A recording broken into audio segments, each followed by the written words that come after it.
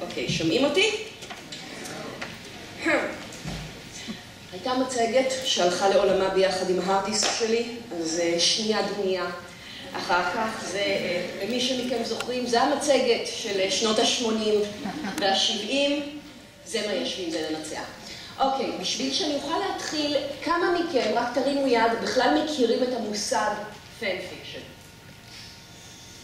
אוקיי, פחות גרוע ממה שחשבתי, אבל בכל זאת אני צריכה לתת איזשהו הסבר על הקונטקסט ועל מה זה, אין לי אפילו איפה לשים את זה. אוקיי, fan fiction. המשמעות של fan fiction זה ספרות חובבים שנכתבת מחוץ לקנון שלא למטרות רווח. עכשיו, מה כוונת המשורר? קודם כל, אני מאמינה שיושבי אולם מכובד זה מודעים לעובדה שבמהלך רוב ההיסטוריה, כל הנושא של זכויות יוצרים, כן, למי יש זכות על היצירה, היה הרבה יותר דינמי ופתוח ממה שהוא היום. כשבמאה ה... לא זוכרת בדיוק מתי התעסקו למשל בסייקל הארתוריאני, תסלחו לי, מישהו המציא איזשהו סיפור חדש של ארתור, המלך ארתור, או היו תקופות שבהם הסיפורים הפופולריים היו על המלך שרלמן, אף אחד לא תבע אותם על הפרת זכויות יוצרים. כל מיני נושאים, טופואים, נרטיביים, נחשבו למחלת הכלל. כאילו, אם ועוד פעם, אני בטוחה שכולכם יודעים, שייקספיר לא המציא אף אחד מהמחזות שלו. הכל היה סיפורים שכבר היו קיימים בכל מיני גרסאות, בכל מיני מקומות. מאה ה-19, מאה ה-20, אנחנו רואים את ההתגבשות של נושא זכויות היוצרים, ומכאן ההגדרה שלנו של קנון נעשה הרבה יותר ברורה. הקנון זה מה שהסופר המורשה בעל זכויות היוצרים, ואו יורשיו בעל זכויות היוצרים, ואו ההוצאה לאור שרכשה את זכויות היוצרים, הם אלה שמגדירים מהו הסיפור, מהו הנרטיב. כל מי שכותב מחוץ לזה או מספר מחוץ לזה, עושה משהו שהוא לא קנון, או בשפתנו, fan fiction. עכשיו, כשאני אומרת, עושה הרצאות על ההיסטוריה של fan fiction, מבחינתי קו פרשת המים זה באמת המאה ה-19. והדוגמה שאני מביאה כסיפור fan fiction הראשון, זה סיפור של ויליאם מייקפיס ת'קרי, למקרה שמישהו מכם שמע עליו, שכתב fan fiction על ספר שאולי את שמו הכרתם, אייבנהו. מכירים? של סר וולטר סקוט, יצא ב-1820 אם אני לא טועה, והפך לסופר סופר סופר פופולרי, אנשים קראו על זה, אנשים, היו כל מיני, אנשים היו עושים כמו רנסאנס ונאספים ועושים כל מיני קרבות יעני בסטייל אייבנהו, זה היה מאוד מאוד אופנתי, וזה גם עורר הרבה מאוד דיונים בקרב חובבים. ואחד מהדברים שהרבה מאוד חובבים דיברו עליו, זה הרומן בין אייבנהו ורובינה, מכיוון שלדעת הרבה מאוד קוראים, מי שבעצם היה צריך להיות ביחד בסוף הסיפור, זה אייבנהו ורבקה, נכון? עכשיו, הרבה אנשים קיטרו, הרבה אנשים התלוננו, אבל ויליאם מייקפיס ת'קרי עשה את אותו מעשה חתרני שכותבי fan fiction לדורותיהם עשו מאותו יום והלאה, וכתב fan fiction משלו. יש סיפור שדרך אגב קיים ברחבי האינטרנט, אתם יכולים לחפש אותו, Rebecca and Rowena של סר ויליאם מייקפיס ת'קרי, שכותב מעין המשך או fix-it, שזה מושג של fan fiction שאני אגיע אליו אחר כך, שבו הוא מתקן את הטעות הנוראית שסר וולטר סקוט עשה כשהוא נתן לאייבנהו להסתובב עם רובינה הקרה והמעצבנת והבלונדינית והלא נחמדה, במקום זה רבקה מתנצרת כמובן, כי אנחנו בכל זאת מדברים על המאה ה-19 ויהודיה ונוצרי לא יכולים להיות ביחד, רבקה מתנצרת, רובינה מתה, ובסופו של חיים באושר ובעושר עד עצם היום הזה, ה fan fiction הראשון. ואנחנו כבר במאה ה-19 רואים את הנטייה הזאת להגיד, רק רגע, רק רגע, מה שנכתב בקנון, הסיפור הרשמי לא מספק אותי, לא מתאים לי, אני רוצה עוד, אני אכתוב עוד, עם או בלי רשות, תודה רבה. עכשיו, זה המשיך לתוך המאה ה-20. את הפורמליזציה ואת ההתגבשות של קהילה, יותר נכון, קהילות ה fan fiction, אנחנו רואים בשנות ה-60 סביב סדרה, שאולי חלקכם שמעתם עליה, שנקראת מסע בין כוכבים. Star Trek, קירק, ספוק, היה, הסדרה הזאת עוררה, כזה למשל, דרך אגב, אין לי מושג מה זה, חמש דקות לפני כן. הסדרה הזאת עוררה נחשון של התלהבות והערצה ודבקות בקרב חובבי הסדרה, ובעיקר חובבות הסדרה. כבר נגיע לזה שלא נראה לפני זה. אנשים, בעיקר נשים, התארגנו בקהילות, התחילו לכתוב סיפורים משל עצמם, ולפרסם אותם בפנזינים, שהיה כאילו כאלה שכפולים שאנשים עשו את הסגול הזה עם הצחנה, שהיו מחלקים בחינם או קצת בתשלום, שנות ה-60, שנות ה-70, שנות ה-80.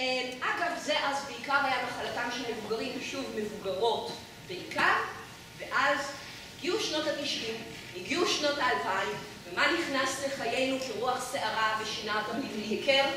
האינטרנט. וברגע שהגיע האינטרנט, פלטפורמה שמאפשרת לכולנו לקרוא, לכתוב ולחלוק, נעשתה זמינה פחות או יותר לכל העולם. ואנחנו רואים באמת על ההתחלה, אני דרך אגב קוראת fan fiction, קוראת, אני לא כותבת, אני קוראת ואני מעבירה ביקורת על fan fiction פחות או יותר מתחילת ימי האינטרנט כאינטרנט. לא, אני נכנסתי לאינטרנט ב-1995 ולא יצאתי. החיפוש הראשון שהרצתי על מנוע החיפוש שהיה, שלדעתי קראו לו Excite, היה Star Trek קירק ספוק. תוך חמש דקות התחלתי לקרוא fan fiction, כי fan fiction היה באינטרנט פחות או יותר מיומו הראשון. וברגע שהיה את האינטרנט והייתה את הפלטפורמה, ה fan fiction גם התחיל להתפתח. וכיום אנחנו יכולים למצוא fan fiction, ספרות חובבים, סיפורים שמתרחשים מחוץ לקנון, או יותר נכון, בין החרכים של הקנון, פחות או יותר על כל יצירה שאתם יכולים לחשוב עליה. יצירה ספרותית, וכמובן המדיומים הקולנועי והטלוויזיוני. יש ארכיבים מאוד גדולים של fan fiction באינטרנט, השניים הגדולים ביותר נקראים fanfiction.net ו-archive of our own, ובהם אתם יכולים למצוא מילולית עשרות אלפי ומאות אלפי סיפורים שמתרחשים בעולמות של נרניה, בעולמות של שר הטבעות, בעולמות של הארי פוטר, כמובן בעולמות של מסע בין כוכבים, בעולמות של Avengers, בעולמות של כל סרט, ספר וסדרת טלוויזיה שאתם יכולים לחשוב עליה. עכשיו, אני רוצה לדבר חבל, תשמעו אותי בוכה למצגת הזה, חבל שאין לי את זה כאן, זה שרטוט יפה של הטקסונומיה של fan fiction, כי בתכלס, על מה מספר ה fan? ובכן, קודם כל, ניתן לחלק אותו לשלושה עמודים עיקריים, gen, אתה משתמש במושגים באנגלית כי אין מושגים בעברית, לזה אני אגיע, gen, het ו slash. מה זאת אומרת? gen זה סיפורים כלליים שעוסקים ב-whatever, הרפתקאות, אירועים שמתרחשים לגיבורי העלילה. het, זה קיצור להטרוסקסואלי, זה אומר שהסיפור מתרכז במערכת יחסים הטרוסקסואלית בין גבר לאישה, ו slash, שזה אומר שסיפור ה fan fiction מתרכז במערכת יחסים הומוסקסואלית בין גבר לגבר או בין אישה לאישה.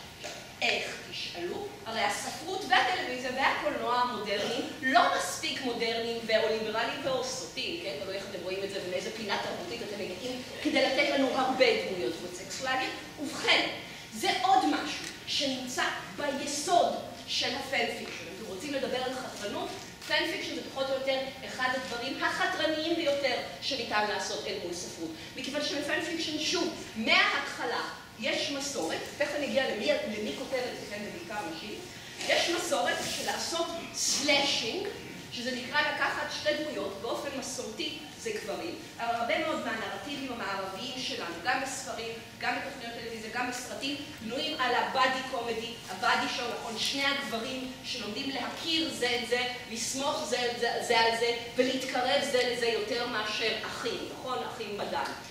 אז קוראים לזה הומוסוציאליזם, הומוסוציאליות, וה fan fiction לוקח את ההומוסוציאליות הזאת והופך אותה להומו-אירוטיות.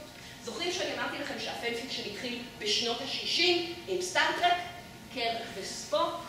הרבה מאוד, לא, לא, זה ברצינות, הרבה מאוד מהסיפורים הראשונים, המוקדמים ועד היום, היו על מערכת יחסים רומנטית ו/או מינית בין קרק וספוק, ועד היום אתם רואים את זה, כן? עד היום אפשר לראות את זה כל מה שאתה חושב על בהרי פוטר, אחד מה-OTPs, one true parent, יש שפה משלה לתחום הזה, זה הרי ודרייקו. הם היו אחד מהזוגות הכי הכי פופולריים, הארי ונבי, דרייקו ונבי. זה מה שאנשים רוצים לקרוא עליו, וזה מה שאנשים רוצים לספר עליו. מכיוון ש fan fiction, וכאן אני מגיעה, למה אני כל הזמן מדברת על כתובות ועל קוראות, מי כותב fan fiction? כל התחום של fan fiction רק בשנים האחרונות מתחיל לזכות בתשומת לב אקדמית, כן? אנשים מתחילים להסתכל על זה ולהכיר בתופעה. אז אין לנו מספרים מדויקים, אבל יש הערכות, יש קנה מידה שה fandom, ה fandom זה הפעילות מסביב להכל, כן? זה גם ה fan fiction וגם על לקרוא את זה וגם על לדבר על זה וגם על להתעסק עם זה. ה fandom מאוד מתעניינת בעצמה ולכן נעשו כל מיני סקרים פנימיים והערכות פנימיות. fan fiction ברובו הגדול נכתב וכנראה גם נקרא על ידי נשים ונערות. יש הערכות שנעות בין 80 אחוז ל-90 ומשהו אחוז מכלל הקוראים והכותבים, אבל זה פעילות נשית. ושוב, אנחנו חוזרים לנושא של החתרנות, כן? הרי קולות נשים באופן מסורתי מושתקים ומוסלקים בתרבות הפופולרית שלנו, כן? בנרטיבי הכתיבה שלנו. A room of our own, כן? הדיון האימורטלי, האלמותי, על מה זה כתיבה נשית ומה זה כתיבה גברית ואיזה נושאים הם ראויים לגברים לכתוב עליהם ואיזה נושאים ראויים לנשים לכתוב עליהם. fan fiction זה נשים כותבות על מה שמעניין אותם. ומה שמעניין אותם זה הרבה פעמים לא מה שמעניין את כותבי הקנון, כן? כותבי הקנון אוהבים להתעסק בגיבורים שלהם. מי שקורא fan fiction לפעמים אומר, רגע, רגע, רגע, רגע, הדמות הנשית הזאת, שלחצי סצנה הופיעה, אמרה משהו רק כדי שהגיבור יסבול עוד יותר והלכה. מאיפה היא באה? לאן היא הולכת? מה המניעים שלה? fan fiction לוקח דמויות שוליות, דמויות שהקנון לא נתן להן חשיבות, ונותן להם מימדים, מספק להם עומק. מעבר לזה, fan fiction מאפשר לספר את הסיפורים שהקנון לא מספר. כפי שאמרתי, יש נטייה, ושוב, היה לי פן וגרפי, כי Archive of Our Own, שזה ארכיב חובבים מאוד מאוד גדול, יש לנו גם פילוח, כמה מתוך מאה אלף הסיפורים שם הם slash, כמה הם het, כמה הם gen, הרוב זה slash, כן? אז יש כאן ביטוי למיניות אחרת, שלאו דווקא זוכה לקבלה בתרבות המיינסטרים. ב fan fiction אפשר לכתוב על זה, אפשר לדבר על זה. עכשיו, אני רוצה להחזיר את זה בחזרה לנושא הכנס הזה, שהוא בעצם ספרות ילדים ונוער. אחד הדברים הבאמת מדהימים ב fan fiction זה שמבחינת מי שקורא אותו ומי שכותב אותו, יש ייצוג מאוד גדול לנערות צעירות. אני אמרתי, אני, אני בתחום מאז 1995 ואני ממש ראיתי איך כותבות גדלות בתוך הפנדום ובתוך הפנדום, שמתחילים לכתוב בגיל 12-13. ועוד פעם, אם בספרות הקנונית, במה שמוצאים בחנויות הספרים, יש לנו הכתבה של מבוגרים על מה ילדים ובעיקר ילדות, כי ילדות ונערות ממושטרות בחברה שלנו, כמו שמעט מאוד אנשים ממושטרים. אז מה הן יכולות לראות, מה מתאים להן לקרוא, איזה נושאים ראויים עבורם, ב fan fiction אין את זה. ילדה בת 12 שמרגישה כל מיני דברים בגוף שלה ורוצה גבר או רוצה אישה או, רוצה לדבר על מה עובר עליה ולחקור את זה דרך איזושהי דמות, אף אחד בקהילת ה fan fiction לא יגיד לה אסור. בין השאר דרך אגב, תראו הסיכוי שהיא כותבת תחת שם בדוי באנונימיות ויודעים את הגיל שלה, רק היא מחליטה לחלוק אותו, כן? קוראים לי Spike Lover 1, 2, 3, זה ה username, ואני בת 14 ממינסוטה. והנה הסיפור שלי על הפעם הראשונה שאני שוכבת עם ג'סטין ביבר, למשל. דרך אגב, זה עוד איזשהו תת נושא של fan fiction, שלא ניכנס אליו כאן. real person fan fiction. בוא נגדיר את זה ככה, אם למשל, כן, כן, אם למשל יש לנו את סרטי שר הטבעות, אז יהיה fan fiction על פרודו ובילבו, ויהיה fan fiction על השחקנים שלהם יחד. לא משנה.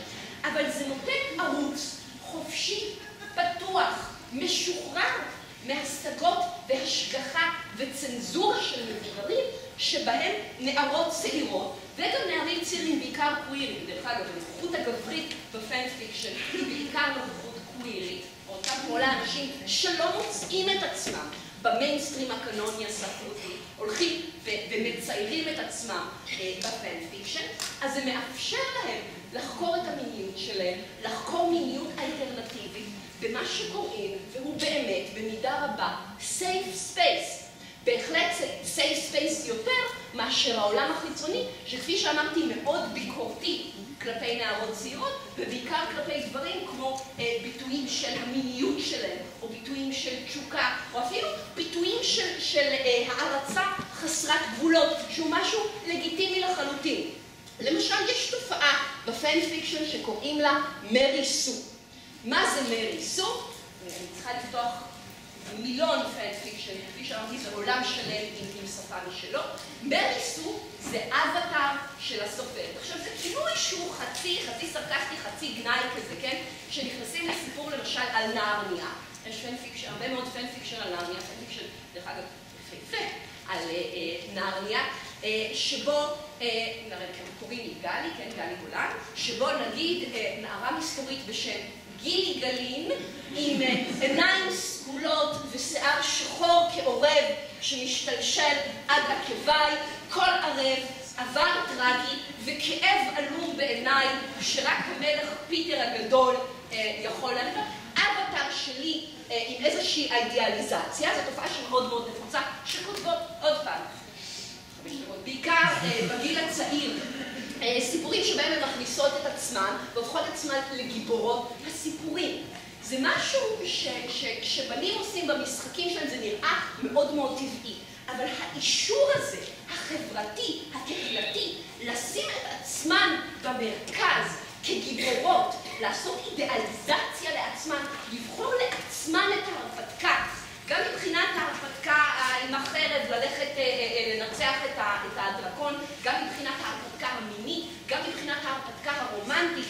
זה משהו שהמרחב הציבורי לא נותן לנשים, לא נותן לנערות, וה fan fiction כן. עכשיו, אפשר לעשות סמינר של שנה על ה fan fiction, והיה כאן שלט שיש לי עוד חמש דקות, אז אני רק רוצה בכמה מילים ככה להזכיר כמה דברים שלדעתי הם מאוד חשובים בקהילת ה fan fiction. קודם כל, מדובר בקהילה חונכת, שנותנת למי שנכנס אליה כלים טובים ונכונים ללמוד לכתוב, ללמוד להיות ביקורתיים. למשל, בקהילת ה fan fiction יש מושג שקוראים לו beta, beta reader, כן? כל כותבת fan fiction שנמצאת ב fandom יותר מאשר יומיים שלושה, יודעת שאם היא רוצה לפרסם סיפור, היא צריכה beta reader. צריכה מישהו שיקרא לה את הסיפור, יתקן את שגיאות הכתיב, יתקן את השגיאות grammar, אולי יעיר, הדמות הזאת לא מתנהגת כמו שהיא מתנהגת בסיפור, העלילה כאן לא הדוקה מספיק. עכשיו כמובן, לפעמים הבטא ריטר בת ה-14, אין לה כישורים ביקורתיים וספרותיים יותר טובים מאשר הסופרת בת ה-12 וחצי, אבל זה לא משנה, זה מקנה כלים. והילדות האלה שבגיל 12 לומדות שמותר להם לבטא את עצמם, מותר להם לחקור את העולם שמסביבם, מותר להם לדבר על מה שהן רוצות, והקהילה תתמוך בהם, ומותר להם לכתוב, ומישהו אחר צריך להסתכל על העבודה, והם יפרסמו את זה, והם יקבלו תגובות. זה משהו מדהים. עוד דבר נפלא, זה מה שקוראים כלכלת המתנות של עולם ה fandom. רק שיהיה לכם ברור, נעשו כמובן כמה ניסיונות למסחר את נושא ה fan fiction. בעיקר על ידי גברים כמובן, אבל עוד כמה פעמים ועוד פעם, אני ב fan fiction מההתחלה, מ-95, ראיתי כל אחד מהניסיונות האלה. עכשיו אמזון, איזה משהו שקוראים לו Amazon Worlds, אולי שמעתם על זה, שהם רוצים לפרסם fan fiction, אני כבר עכשיו אומרת לא ילך להם. היה עוד ניסיון. אני יודעת, אני כבר אגיע לזה, גם עיר של עצמות של קסנדרה קלר, אני כבר מגיעה לזה. כאילו לפרסם fan fiction, אבל fan fiction כאילו בלי לשנות את השמות. ניסו את זה לפני חמש שנים, משהו שקראו לו FanLib, ניסה את זה. הקהילה עומדת על הרגליים האחוריות. בדרך כלל הנשים היותר מבוגרות, עם התארים במשפטים ובספרות ובפילוסופיה, ויש גם כאלה בפנדום, לא מעט, למה זה בעייתי שגברים או הממסד מנסים עוד פעם להשתלט על עבודה שנשים עושות למען עצמם ולמען הקהילה ולעשות מזה כסף, ולא מאפשרים את המסחור הזה. מה שכן, אנחנו בהחלט רואים חציית קווים בבחינת סופרות שצומחות מה fan fiction לתוך הכתיבה הספרותית המיינסטרימית, אם כי שוב ייאמר, יש גם הרבה זיונים מסביב לזה, וזה לא המטרה. כלומר, לא מטופל, לא כל מי שכותב fan fiction יום אחד חולמת להיות סופרת רצינית וקנונית, כן? זה משהו אחר, אבל גם זה קורה, למשל 50 גוונים של אפור, למי שלא ידע, התחיל את דרכו כ fan fiction של דמדומים. Twilight, זה fan fiction alternate universe, מה שקוראים, שבו לוקחים את הדמויות מהסיפור ושמים אותם בעולם אחר כדי האופי שלהם יצא בנסיבות אחרות, והדמויות בחמישים גוונים של אפור בעצם אמורות להיות בלה ואדוורד, עיר של עצמות של קסנדרה קלר, מכירים? שמעתם על זה?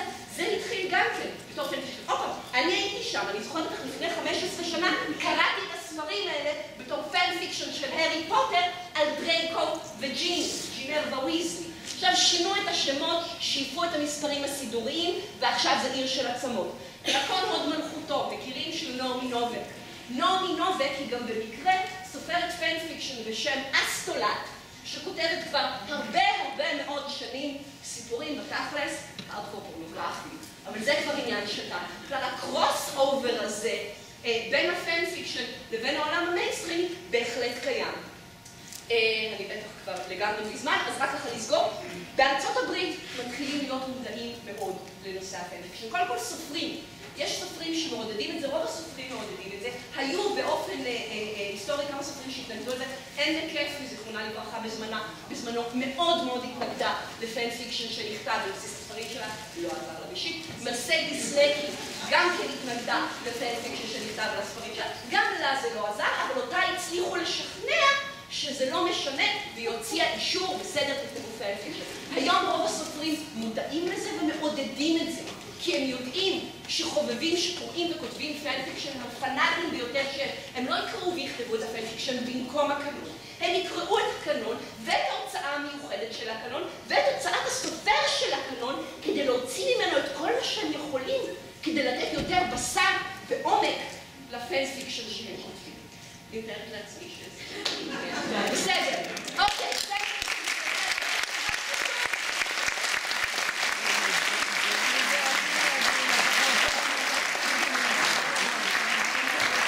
יש שאלות לפני שדלי יורדת מהבמה? כן. אלונה. אלונה פרנקל מציעה עם אנה קריינה ב slash. מה שמדברת עליו קוראים לו crossover, שזה תת-ז'אנר בתוך ה fan fiction, ועושים את זה הרבה. כלומר, המחשבה הזאת על מה היה קורה אם גיבור מעולם X, מספר X, זה היה נכנס לספר Y, זו מחשבה שלכולנו הייתה, וכותבים הרבה הרבה מאוד סיפורים כאלה, לדעת משהו, אני בטוחה שנצליח למצוא גם משהו כזה, אם ננסה. יש גם fan fiction של ספרות קלאסית, יש fan fiction של תנ"ך, יש fan fiction של סיפורי מיתולוגיה, יש slash, תסלחו לי המאמינים שביניכם, בין אלוהים לשטן. הכל זה. עד כאן.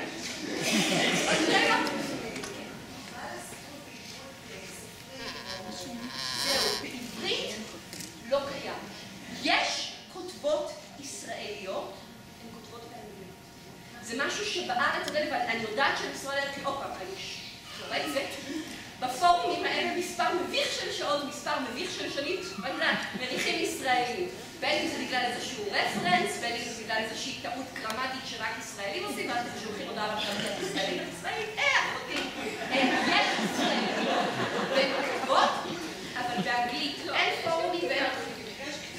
fiction יש, אבל לא הרבה. זה ממש ממש ממש בחיתוליה. יש כתיבה בעברית, אבל לא יצירות ישראליות. שאין מסביב ליצירות ישראליות fandom, את המשקל שצריך.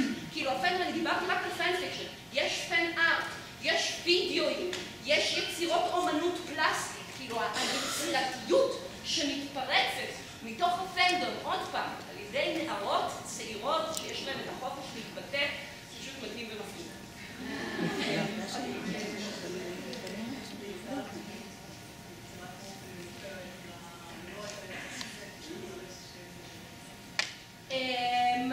רגע, שמעו את השאלה? לא. אה, שוהם שאלה, שוהם סמית שאלה, האם היצירת פנלופה של אה, מרגרט אדגוד הייתה יכולה לחשב פאן פיקשן אם היא לא הייתה... כן, אם היא לא הייתה, אם היא לא הייתה קנונית על איזושהי פרשנות יש לנו עוד יצירות כאלה, וואי זה וואי בזיק סרגסו סינוס, כן, ה- או- או היה משהו עכשיו על אה, האבא מנשים קטנות, תסלחו לי, אני מאוד גרועה בלזכור אה, לזכור שמות, או סקארלט, ההמשך של Gone with the Wind. כאילו כל הדברים האלה, אלמלא הם היו מתפרסמים בצורה קנונית על ידי הוצאה לא מיינסטרימית, והכי חשוב, כסף, כן, זה היה יכול להיות כאן.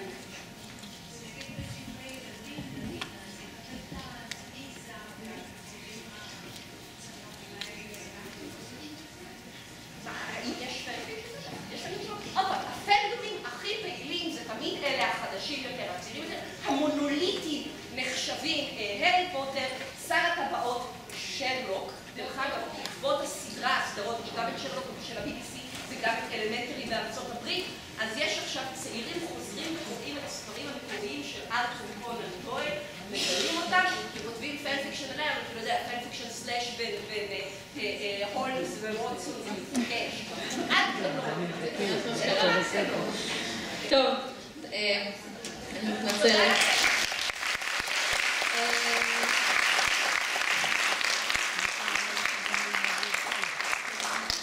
אה, אמרתי לכם שזו תופעה תוססת וסוערת, ואני חושבת המצגת אה, אנחנו הצלחנו להבין את זה, ואני גם רוצה רק לגלות ש... כשיותם ואני חשבנו ככה על הכנס כבר לפני חצי שנה וחשבנו מה יהיה בו, אז אה, כן התחלנו לחפש, לחפש ככה עניינים שקשורים ל fan fiction, וחשבנו בהתחלה להביא לפה אה, כמה נערות שככה יספרו בעצמן, ואפילו מצאנו כאלה שכתבו על הארי פוטר ועל משחקי הרעב, ו- זאת אומרת, וזה גם קורה בעברית באמת מעט מאוד, אבל כן, זאת אומרת, מעט מאוד יחסית הברית, אבל קורה בצורה מכובדת. אבל אני חושבת שהאנונימיות הזאת שגלי דיברה עליה, היא עוד אה, ככה הרתיעה אותה מלהגיע ממש ולעמוד מול אה, אולם מלא במבוגרים.